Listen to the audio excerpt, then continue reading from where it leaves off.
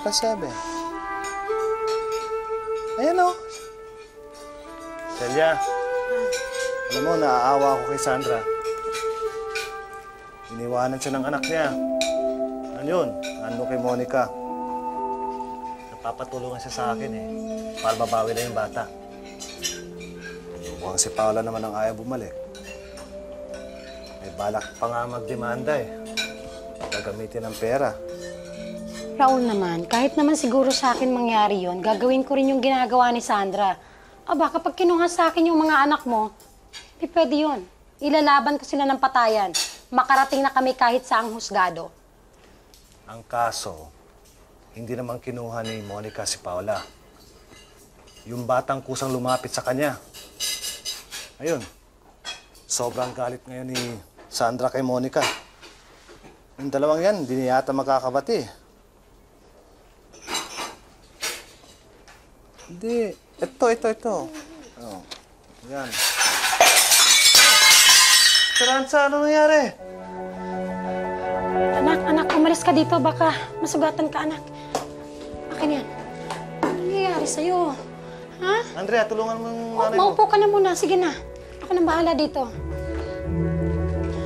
Huwag kang lalapit dito ang basag na baso. Esperanza, okay ka lang? At ano, pagpipilitan ko sarili ko sa kanya. Ganong may mahal na siyang iba. Anton, hindi pinagpipilitan yun.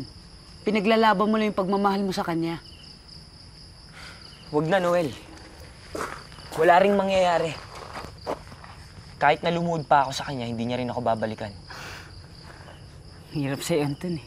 Dali mo sumuko. Sa Esperanza, siya ang madaling sumuko. Siya ang madaling bumitaw. Kaya ba binigay mo siya ng ganyan kadali kay Roby?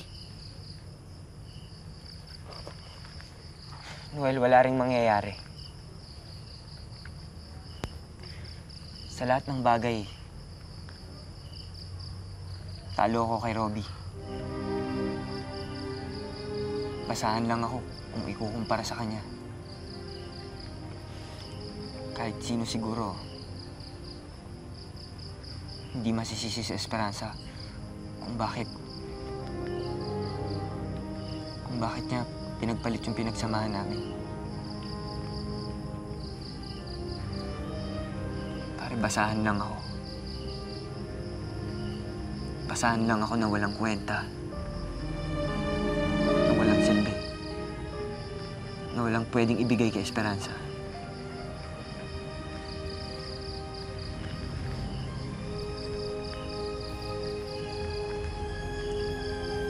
Siguro nga, Noel. Siguro nga panahon na para mawala na ako sa anino niya. At ipaubaya na siya ng tuluyan. Ikaw, kaya mo ba?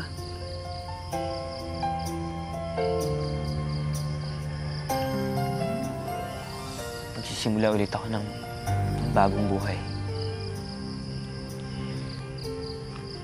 Yung ako lang. Nung wala si Esperanza. Nung wala siya sa bahagi ng buhay ko. Sa pangarap ko.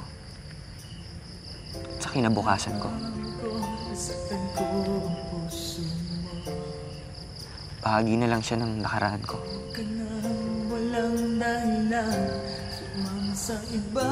Masakit na nakaraan. Pero... Pero hindi ko alam kung, kung makakaya ko. Kung makakabangon ako. S- Sana nga. Dahil ayoko nang masaktan.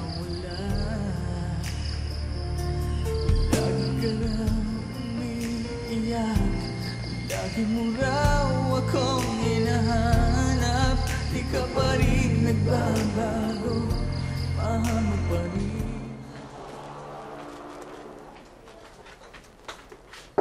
Paula!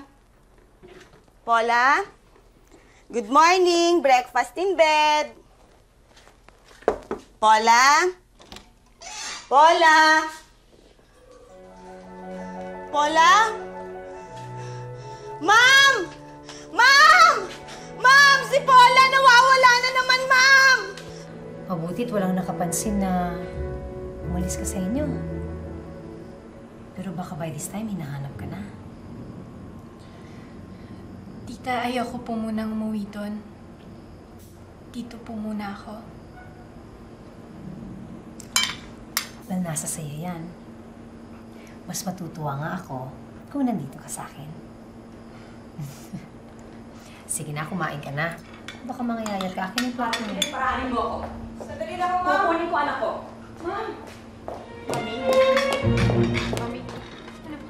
Halika na. Umuwi ka sa bahay. Uwi!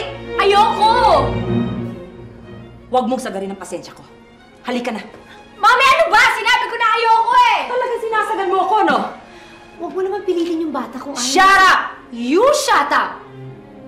Ito, pamamahay ko ito. Baka idemanda kita ng trespassing.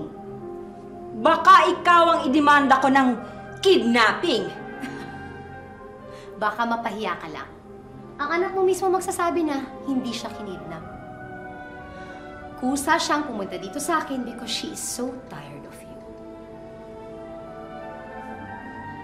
Bakit ba inaagaw mong lahat ng sa akin? Kinukuha ko lang ang para sa akin. Anak ko na ang kinukuha mo. Para sa kapatid ko na namatay ng dahil sa'yo. Tama na. Ayoko na ng maraming usapan. Kukunin ko ang akin. Akin si Paula. Sasama siya sa'yo.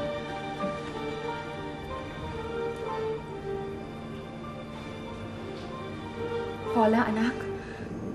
Halika na, umuwi na tayo. Kung ayaw mo umuwi sa bahay, gusto mo sa Maynila, dadalhin kita sa Maynila.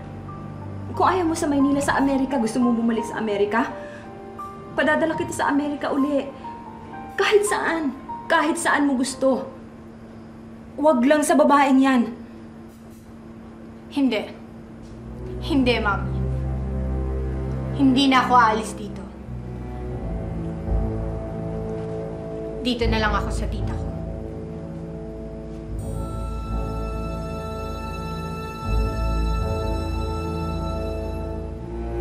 Maraming salamat sa pagparito mo, Raul.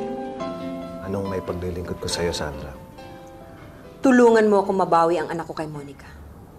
Kung kinakailangan kong magdemanda, gagawin ko. Kung yan ang gusto mo, Sandra, mas makabubuti siguro kung abogadong konsultahin mo. Pero baka pwede mong kausapin si Monica na ibalik na lang sa akin si Paula. Sabi mo si Paula ang ayaw bumalik. Dahil nga sa impluensya ng Monica yan, linalaso niya isipan ng bata. Sandra, personal yung gulo yan. Pwede ako makialam. Pero palagay ko wala akong magagawa eh. Kayo ni Paul ang dapat mag-usap. Eh, kayo lang makakagawa ng solusyon sa problema niyo eh. Hindi yan ang gusto ko marinig. Mayor ka. Makapangyarihan ka. Kaya mong kunin ang gusto mong kunin. At kaya mong gawin ang kahit na ano. Gusto mo yatang marinig, Sandra eh. May pakulong mo si Monica para bumalik sa yung anak mo. Hindi naman yata tama yan. Wala akong pakialam kung tama o mali. Basta ang gusto ko, mabawi ang anak ko kay Monica.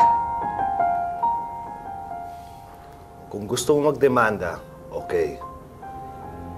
May pakulong mo man si Monica at bumalik sa yung anak mo, hindi ka pa rin sigurado na nakuha mo na ang anak mo.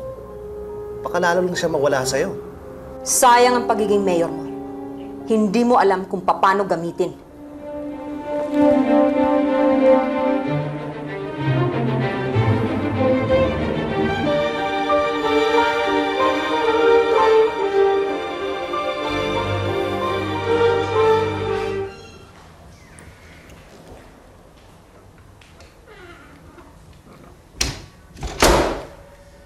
Tita, Huwag mo akong kausapin. Iwanan mo ako mag-isa. Please.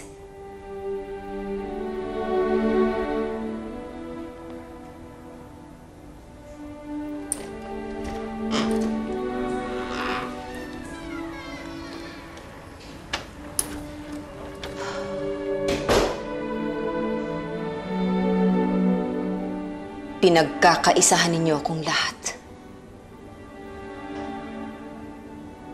Raul, pagsisisihan mo ang pagkampi mong ito kay Monica. Hindi mo pa nakikita kung paano ako manira ng buhay. Magsisisi ka, Raul. Magsisisi ka.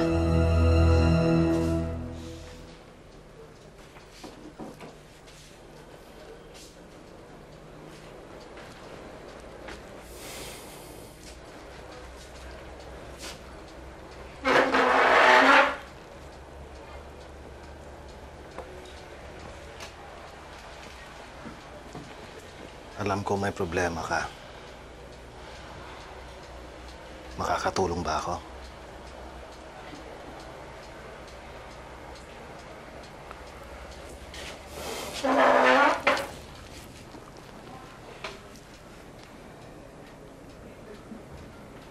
Esperanza, mahirap yung kinikimkim mo sa dibdib mo ang bumabagkabag sa'yo. Ilabas mo yan, anak. Pag sumabog yan sa loob, lalo kang maapektuhan.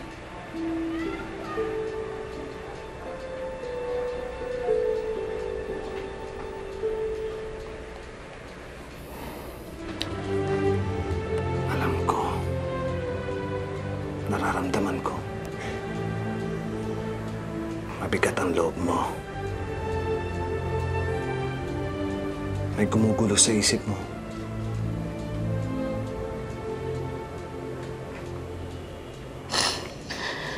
Si Robby ba? Si Anton? Tungkol sa desisyon mo?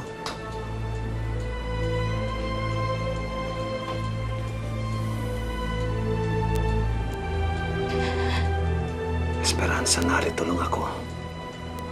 Bilang ama, bilang kaibigan, na handang makinig at umintindi sa'yo. Tay. May gusto sana ako sabihin sa inyo eh. Tungkol kay Rob.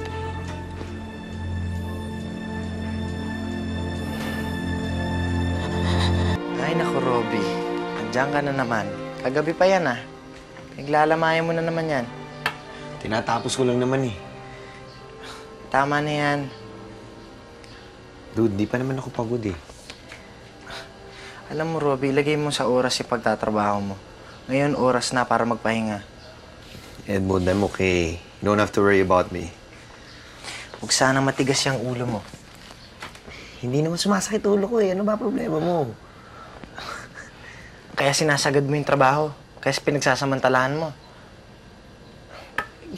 Parang gusto mo pang atakihin ka eh. Parang gusto mo mapaga eh. Edmund, gusto ko lang naman matapos tong project na ito eh. The earlier the better, di ba? Gusto ko lang makita tong nakatayo na. Bago man lang ako mawala. Para isa lang naman pangarap ko eh. Sana matulungan mo akong tuparin tong pangarap na to. Kahit yun lang.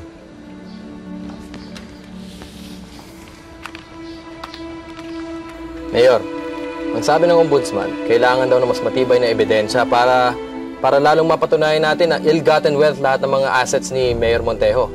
Ngayon, eh, kung may malalabas kayong mas matibay na ebidensya para sa inyong kaso laban sa kanya, ilabas ninyo. Eh, kung yan ang paraan para maging paborable sa atin ang desisyon ng Sandikan Bayan, sige, attorney. Hahanap ako ng ebidensya. At hindi ako titigil hanggat hindi na ibabalik sa kabanang bayan ang lahat ng ninakaw ni Montejo. Aasahan ko yan para may laban tayo. Bueno, ako'y alis na. O sige, attorney. Huwag tayong bibitaw sa kasong ito. Nakasalalay sa inyo lahat ng ebidensya makukuha nyo. Alis na ako. Sige.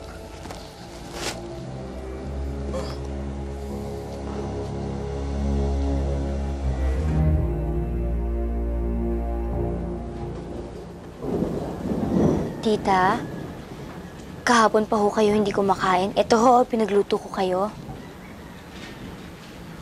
Wala akong gana. Ano sabi ho ni Yaya Ramona? Ang sarap-sarap daw po ng pagkakaluto ko. Tikman niyo, tita. Itabi mo na lang. Tita, magugustuhan niyo po to. Para po sa inyo talaga. Hindi ka ba marunong umintindi? Hindi ba sabi ko itabi mo na lang o kaya ipakain mo kay Ramona? Wala akong pakialam kahit anong gawin mo! Umalis ka sa harapan ko! Hindi yan ang kailangan ko! Hindi ikaw ang kailangan ko! Hindi kayo ang kailangan ko! Iwanan niyo ako! Huwag niyo akong kausapin! Iwanan ninyo ako!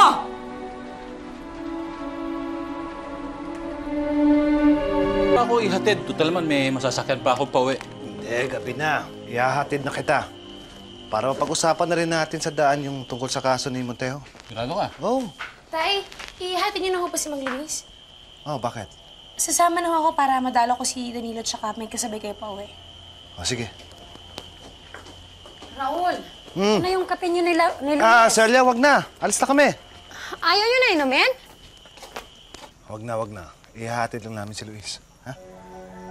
Sige, mag mag-iingat na lang kayo, ha?